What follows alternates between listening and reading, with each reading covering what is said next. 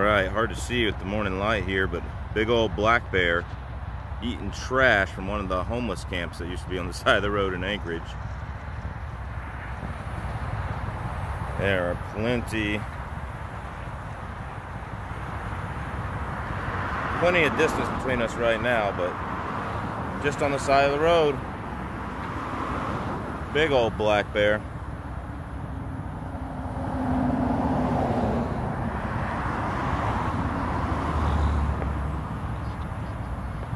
First black bear I've seen this year. First bear I've seen this year.